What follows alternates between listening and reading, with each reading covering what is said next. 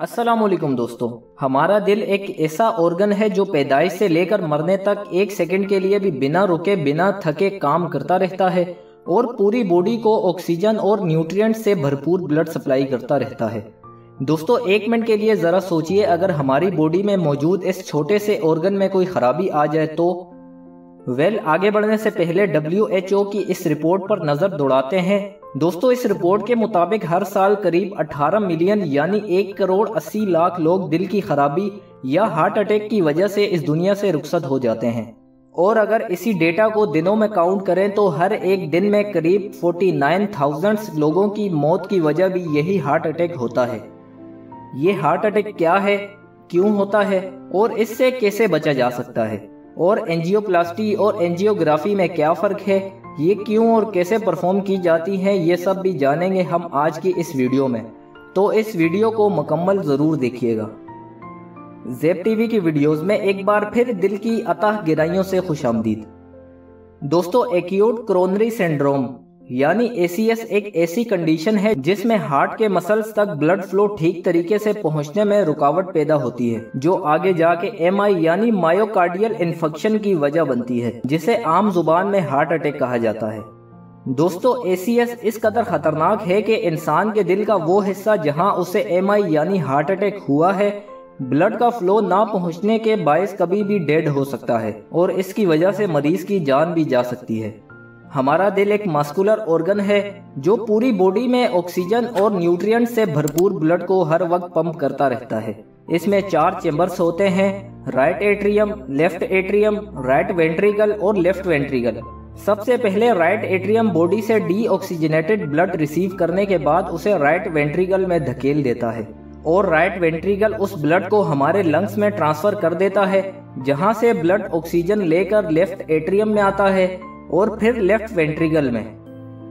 दोस्तों left ventricle हमारे दिल का मेन पंपिंग चेंबर है, जो कंट्रैक्ट होके ऑक्सीजन से भरपूर ब्लड को एओटा के ज़रिए पूरी बॉडी में पंप करता रहता है। जैसे हमारी बॉडी के हर पार्ट को ज़िंदा रहने और ठीक तरीके से काम करने के लिए ऑक्सीजनेटेड ब्लड की ज़रूरत होती है, वैसे ही हमारे दिल को भी काम करने के लिए हर पल ऑक्सीजन की ज़रूरत रहती है, और इसे ऑक्सीजन पहुँचाने का काम करती हैं ये क्रोनरी आर्टरीज और ऐसी ही कई सारी छोटी छोटी आर्टरीज एओटा से जुड़ी होती हैं, जो कि हार्ट के मसल्स तक ऑक्सीजन और न्यूट्रिएंट से भरपूर ब्लड मुहैया करती हैं।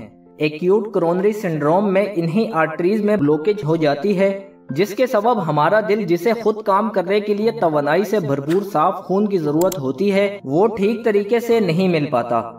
और जिस आर्टरी में ब्लड फ्लो की शॉर्टेज होती है दिल का वो हिस्सा आहिस्ता आहिस्ता काम करना बंद कर देता है। और बहुत ज़्यादा चांसेस होते हैं कि वो हिस्सा डेड हो जाए।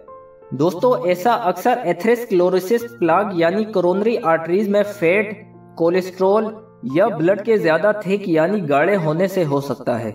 इस कंडीशन में आर्टरी में मौजूद गैप कम हो जाता है और अगर ये प्लाग टूट जाए तो यहाँ ब्लड जमा होना शुरू हो जाता है, जिसे ब्लड क्लोट कहते हैं। और इसी क्लोट की वजह से आर्टरी में ब्लॉकेज पैदा हो जाती है। और आमतौर पर ब्लड थिक होने के बायस ही क्लोटिंग और फिर ब्लॉकेज देखने को मिलती है। इसके अलावा दूसरी वजह कोरोनरी आर्टरी स्पेजम यानी आर्टरी में ऐठन आ जाने से होता है। दोस्तों, ये भी एक आम सा अमल है जो कि ठंड के मौसम ड्रग्स स्मोकिंग या फिर शदीद जहनी तनाव की वजह से हो सकता है। या फिर तीसरी वजह यह है कि कोरोनरी आर्टरीज डायसिक्शन यानी आर्टरी का फट जाना है। दोस्तों इस केस में आर्टरी की अंदरूनी वाल टूटकर अलग हो जाती है जिसके बायस ब्लड फ्लो में रुकावट आ जाती है। दोस्तों एमआई या हार्ट अटैक इनमें से किसी भी वजह से हो सकता है। इन सब में कोई भी इंसिडेंट होने के बाद इन आर्टरीज में गैप कम होने की वजह से ब्लड सर्कुलेशन में रुकावट पैदा होती है और दिल के उस हिस्से में जहाँ क्रोनरी आर्टरी ब्लॉकेज होती है ऑक्सीजन और बाकी ज़रूरी न्यूट्रिएंट्स ना पहुँच पाने के बायस वहाँ के हार्ट मसल्स डेड हो सकते हैं इस कंडीशन को मेडिकल टर्म में मायोकार्डियल इन्फेक्शन या एमआई कहा जाता है, जैसा कि हमने वीडियो के शुरू में भी ज़िक्र किया था।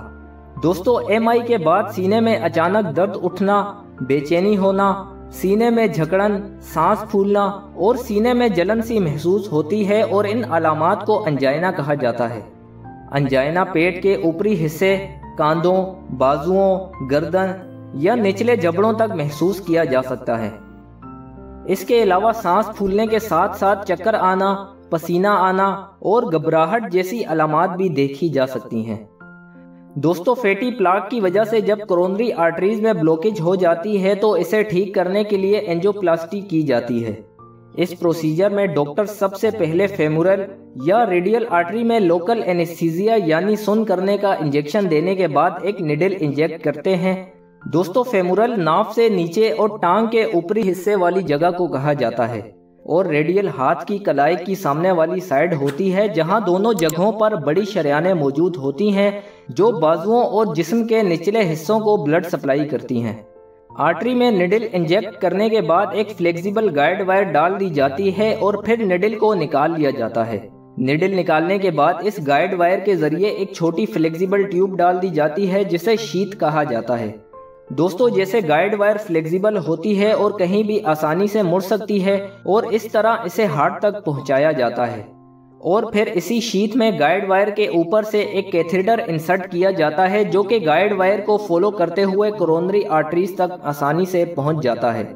दोस्तों इस सबको देखने के लिए एक खास एक्सरे मशीन का इस्तेमाल किया जाता है जिसे फ्लोरोस्कोप कहा जाता है जो हर सेकंड की लाइव इमेजिंग स्क्रीन पर दिखाता रहता है।